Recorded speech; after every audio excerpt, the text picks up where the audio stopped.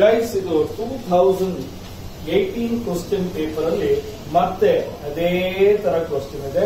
ಮತ್ತೆ ಇದೇ ತರ ಸಾಲ್ವ್ ಮಾಡಬೇಕು. ಬಟ್ ಇನ್ನೊಂದ್ಸರಿ ಹೇಳ್ಕೊಡ್ತೀನಿ. ಇವಾಗ ಏನ್ ಮಾಡಿದ್ದೀನಿ ಅಂದ್ರೆ ಎಲ್ಲ ಪಾಯಿಂಟ್ಸ್ ಬೋರ್ಡ್ ಮೇಲೆ ಬರೆದು ಬಿಟ್ಟಿದ್ದೀನಿ. ಜಸ್ಟ್ ಎಕ್ಸ್ಪ್ಲೇನ್ ಮಾಡ್ಕೊಂಡು ಹೋಗೋಣ ಅಷ್ಟೇ. ಓಕೆನಾ ನೀವೇ ಹೇಳ್ಬೇಕು. ಅದು state within the state ಬರುತ್ತಾ? ಔಟ್ ಸೈಡ್ ದ ಸ್ಟೇಟ್ ಬರುತ್ತಾ? ಈಗ ಫಸ್ಟ್ ಪ್ಯಾರಾಗ್ರಾಫ್ ಓದ್ಬಿಡ್ತೀನಿ. ಏನಿದೆ ಅಂತ ನೋಡಿ.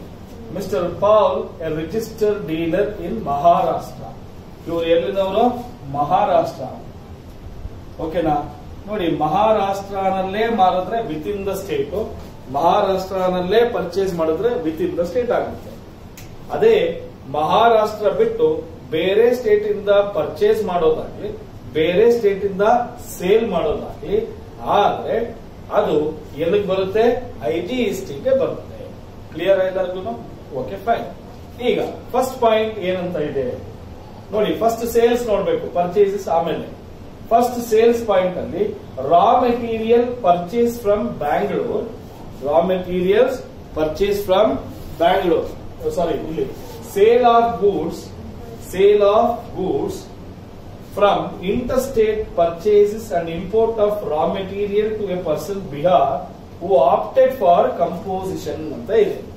ನೋಡಿ ಕಂಪೋಸಿಷನ್ ಅಂದ್ರೆ ಬೇರೆ ದೇಶದಲ್ಲಿ, ನಮ್ಮ ದೇಶದಲ್ಲಿ ನಾವಿಬ್ರು ಸೇರ್ಕೊಂಡು ವಸ್ತುಗಳನ್ನ ಪರ್ಚೇಸ್ ಮಾಡಿ ಓಕೆನಾ ಎಲ್ಲಿಗೆ ಮಾರ್ತಾ ಇದೀವಂತೆ?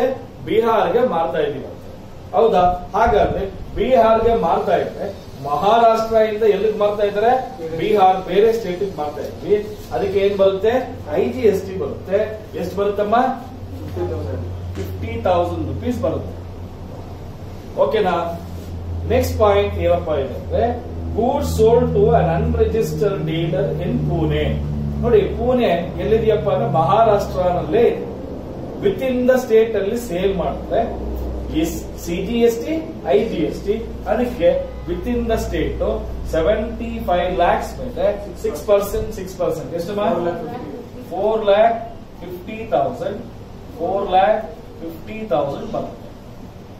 ಕ್ಲಿಯರಾ next sale of goods to a union territory of Pondicherry ಎಷ್ಟಕ್ಕೆ ಮಾರಿದೀವಂತೆ ಹನ್ನೆರಡು ಪರ್ಸೆಂಟ್ ಮಾರಿದೀವಂತೆ ಮಾರಿದ್ರೆ ನಾವು ಏನ್ ಕಟ್ಟಬೇಕು ಐ ಜಿ ಎಸ್ ಟಿ ಅನ್ನ ಕಟ್ಟಬೇಕಾಗುತ್ತೆ ಎಷ್ಟು ಬರುತ್ತೆ ಹೇಳಿ?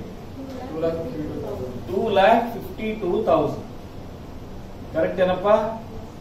Okay next point sale of goods purchase from R N set register dealer Nagpur ಅಂತ ಹೇಳ್ತಾರೆ ಯಾರಿಗೆ ಮಾರಿರೋದು? Dealer in Nagpur. ನಾಗ್ಪುರ್ ಎಲ್ಲಿ ಬರುತ್ತೆ? ಅದೂನು ಮಹಾರಾಷ್ಟ್ರನಲ್ಲಿ. ನಾಗ್ಪುರ್ ಏನ್ ಫೇಮಸ್ ಗೊತ್ತಾ ನಿಮ್ಗೆ? ನಾಗ್ಪುರ್ ಈ ಚಪ್ಪಲಿಗಳು ಬರುತ್ತೆ ಗೊತ್ತಾ? ಅದನ್ನೇ ನಾವು ಏನಂತ ಹೇಳ್ತೀವಿ ಲೆದರ್ ಲೆದರ್ ಫುಟ್ ವೇರ್ಸ್ಗೆ ತುಂಬಾ ಫೇಮಸ್ ನಾಗ್ಪುರ್. ಅದು ಮುಂಬೈನಲ್ಲಿದೆ. ಈ ಟೈಮ್ನಲ್ಲಿ ಹೋಗ್ಬಿಟ್ರೆ ಎಲ್ಲರೂ ಮೊಟ್ಟೆಯಿಂದ ಆಮ್ಲೆಟ್ ಆಗುತ್ತೆ ಅಷ್ಟು ಬಿಸಿಲು ಇರುತ್ತೆ. ಓಕೆನಾ so within the state ಆಗಿರೋದ್ರಿಂದ ಓಕೆನಾ nine percent fifteen lakhs into nine percent one lakh thirty five thousand one lakh thirty five thousand ಓಕೆನಾ ಸೇಲ್ ಆಫ್ ಗೂಡ್ಸ್ ಟು ಏನಂತೆ? Raw material A to S E Z Mumbai ನಾವು ನಮ್ಮ state ಅಲ್ಲೇ ಯಾವುದೋ ಒಂದು state ಯಾವುದೋ ಒಂದು ಜಾಗ ಏನಾಗಿದೆ ಅಂತೆ? ಸ್ಪೆಷಲ್ ಎಕನಾಮಿಕ್ ಝೋನ್ ಆಗಿದೆ. ಯಾವುದೇ ಕಾರಣಕ್ಕೂ ಟ್ಯಾಕ್ಸ್ ಅನ್ನ ಹಾಕೋದಿಲ್ಲ.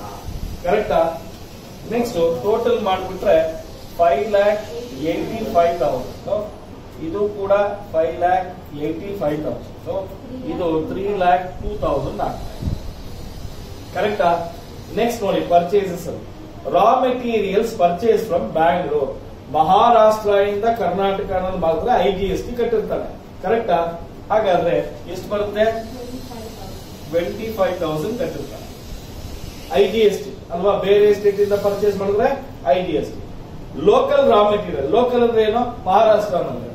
Forty eight thousand forty eight thousand and dash next raw material purchase from U S A costing eight lakh including B C D and eighty thousand excluding I D S T exclude ಆಗಿರೋದ್ರಿಂದ ನಾವು ಯಾವುದೇ ವಸ್ತುಗಳನ್ನ ಬೇರೆ ದೇಶದಿಂದ purchase ಮಾಡ್ಕೊಳ್ತಾ ಇದ್ರೆ ಅದರ ಮೇಲೆ ಐ ಜಿ ಎಸ್ ಟಿ ಅನ್ನ ಕಟ್ಟಬೇಕಾಗುತ್ತೆ. ಎಷ್ಟು ಪರ್ಸೆಂಟ್ ಅಂತ ಇಲ್ಲಿ ಏಟೀನ್ ಪರ್ಸೆಂಟ್ ಅಂದ್ರೆ one lakh eighty thousand rupees ಆಗುತ್ತೆ.